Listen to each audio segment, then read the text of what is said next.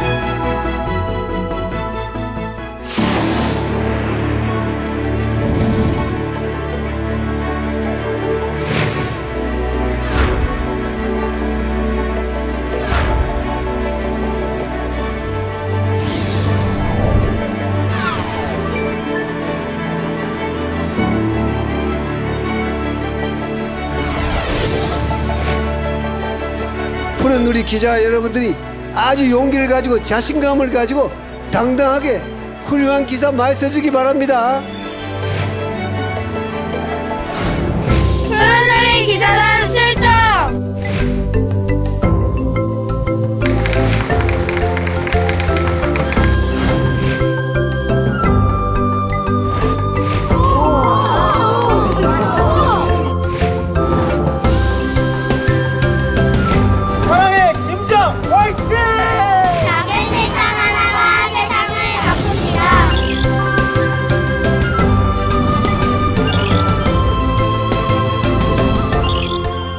이 어린이들을 대한민국에 꼭 필요한 그런 인재로 길러내야 되겠다 하는 그런 생각을 맞기 전에 아이들 만난 것만으로도 저는 더 열정적으로 노래를 할 수 있을 것 같아요. 다 똑똑하고 아주 너무 좋습니다. 아이들이 어떤 생각을 하고 있는지 참 잘 알 수 있는 그런 기회가 되는 것 같습니다.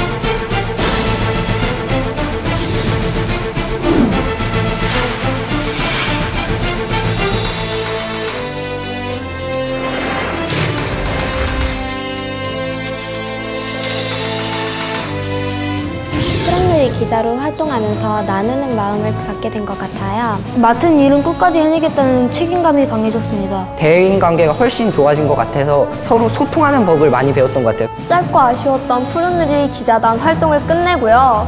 이젠 청소년으로서 청소년 방송단 활동을 하려고 합니다.